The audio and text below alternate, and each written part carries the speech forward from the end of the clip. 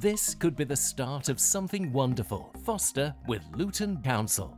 We foster for Luton Borough Council. I foster with uh, Luton Borough Council Fostering Service. I foster for Luton Borough Council. I foster for Luton Social Services. I foster for the local authority, Luton Borough Council.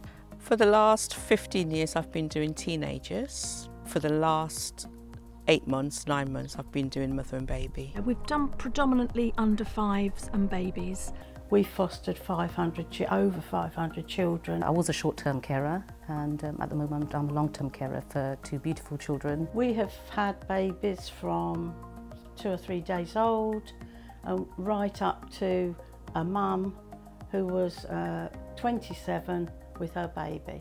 Their support for us has been really good, um, particularly our fostering social workers and the fostering team. They've been really supportive especially social well my social worker. We get our, attached our own um, supervising social worker. They're always there at the end of the phone. The training is very good, it is very good. They're always there to support us whenever we have any difficulties. It's involved our families as they were growing up. We're all involved. We do it as a, it's, it's, a, it's a family thing now.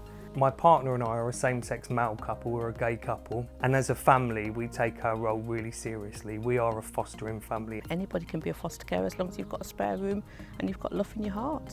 For me, fostering is not a job, it's just a way of life. The rewards, seeing the children smile. Yes, it's very rewarding.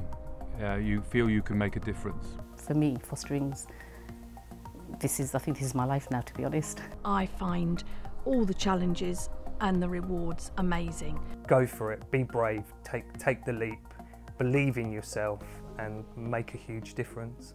Make a difference to children's lives. Foster with Luton Council. Contact us today. Go to www.luton.gov.uk slash fostering to find out more.